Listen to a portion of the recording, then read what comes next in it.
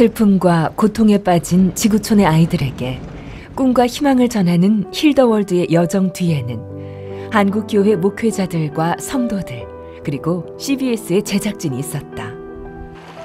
새 생명을 전하기 위해 땅끝까지 달려간 그 길 위에서 제작진은 아이들과 함께 울고 웃으며 아픔을 나누었는데 아이들의 잃어버린 희망을 되살리고자 기도로 무장하고 때론 진흙탕 길을 때론 먼지가 가득한 길을 묵묵히 달렸던 CBS 힐더월드 제작진의 지난 여정을 따라가 본다.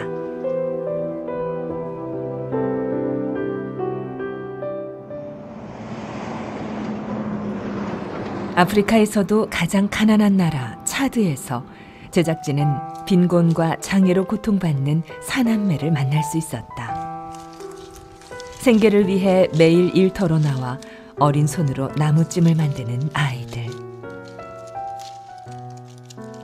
그중 목발을 짚은 소녀가 눈에 띄는데 몇 년 전 사고로 왼쪽 다리를 잃은 둘째 도부다.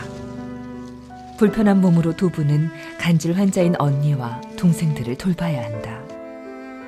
부모가 에이즈로 죽고 난 뒤 소녀는 더 비참한 신세가 되고 말았다. Những cái công việc của nó xây ông mô sao mà bấm của tôi công của tôi thấp ngay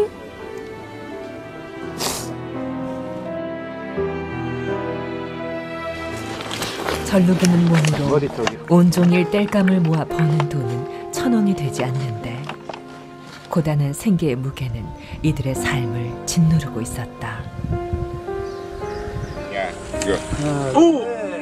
아, 조, 아 조심 조심 어. 아이들이 짊어진 고통을 덜어주고 싶었던 제작진. 이거 20kg 더 되는 것 같은데? 어른도 감당하기 힘든 짐을 들고 고군분투했던 아이들의 아픔이 고스란히 전해져 온다. 최소 40도가 넘어요. 지금 많이 올라가 있던 45도. 그러니까 서 있기만 해도 지금 더위가 엄청난데 저기 20kg, 20, 30kg 되는 저 나무를 머리에 지고 간다라는 것 자체가 그리고 저 어린아이가 또 장애가 있는 상태에서 간다라는 것 자체가 사실은 음 그래요. 음. 빈곤의 무게만큼 제작진을 아프게 한 것은 끔찍한 질병으로 고통받는 아이들의 모습이었다. 에티오피아의 한 마을에서 만난 젤라타.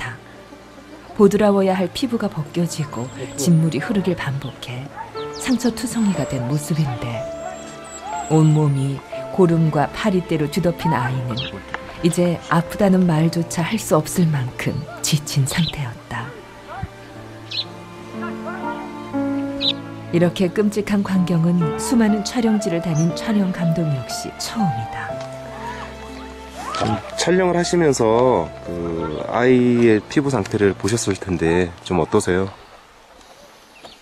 많이 심각한 것 같고요. 저도 촬영 다니면서 저 정도로 심각한 피부병은 처음 보는 것 같습니다. 아이가 너무 힘들 것 같아요. 말 표현하기 힘듭니다. 아이에게 병을 안겨준 것은 오염된 식수였다. 물 자체가 오랜 가뭄으로 인해 썩은 물이 유일한 식수원이 되었고 악취는 물론 이물질이 가득한 물을 가축과 함께 먹다 보니 병에 걸리는 것은 당연한 일이었다. 근본적인 식수 문제를 해결하지 않는 한 병은 계속해서 악화되기만 할 텐데 한 아이를 살리기 위해 이곳에 왔지만 질병 앞에서 제작진의 힘은 너무 미약했다. 이 아이들이 고통에서 벗어나는 길을 기도하면서 찾는 것만이 이곳에서 할 수 있는 최선이었다. 험난한 길 위에서 제작진은 수차례 고비를 맞이하기도 했다. 도로를 달리던 중 타이어가 터지는 일은 다반사. 자칫 큰 사고로 이어질 수 있는 위험이 현장에선 수시로 발생했다. 뒷포장길에서 한번 펑크가 나고 빵꾸를 떼었는데 난 거예요. 이거 폐타이어예요, 폐타이어. 사실은 굉장히 위험한 건데 이런 게 없으니까 너무 열악하니까 그래서 사실 저희는 목숨 내놓고 지금 달리고 있는 거죠. 그냥. 수많은 사건과 사고, 위험 속에서도 길을 가야 했던 건 만나야 할 아이들이 있고 주님이 맡겨주신 선교 사명이 있기 때문이다. 동유럽에서 가장 가난한 나라 알바니아. 이곳에서 제작진은 이전에는 보지 못했던 절망과 마주했다. 쓰레기 매립장에서 먹을 것을 찾아 헤매는 넝마주의 아이들.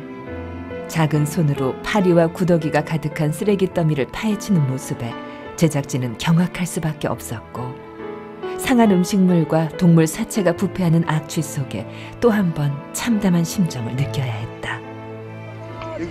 죽은 동물들이 되게 많아요. 그, 뭐 염소, 들깨, 뭐 닭. 근데 지금 이것들이 되게 부패가 심해서 이 부패된 것들이 지금 냄새가 진동을 하는데 지금 저 아이들은 이건 아침부터 저녁까지 계속 이곳에, 이곳에서 그 냄새를 맡아가면서 지금 일을 하고 있다라는 게 안타까워요. 되게. 이곳에는 코를 찌르는 악취보다 더욱 심각한 문제가 존재하고 있었다. 카메라에 담긴 재앙은 바로 정체불명의 의료 폐기물이었다. 출처를 알 수 없는 주사 바늘과 의료용품이 곳곳에 널린 채 어린 생명들을 죽음으로 몰아넣고 있었던 것이다. 보이세요 이거? 지금 이런 것들이 지금 수백 개가 지금 널려 있는데 누가 이걸 썼는지도 잘 모르는 바늘인데 그러니까 줍다 보면은 막 이런 것들이 이제 막 찔리고 널려 있는 거예요 그냥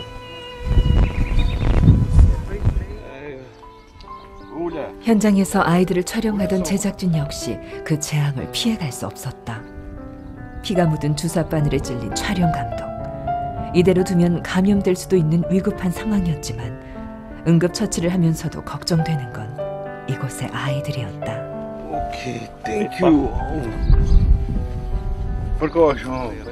얘들은 매번 그렇게 찔리고 상처나고 그러는데 하, 그런 걸 해줄 수 없다는 게 너무 좀 미안하고 그냥 좀 내가 맞았다는 게 또 이제 또 좀 죄스럽네, 죄스럽고 네, 그렇습니다.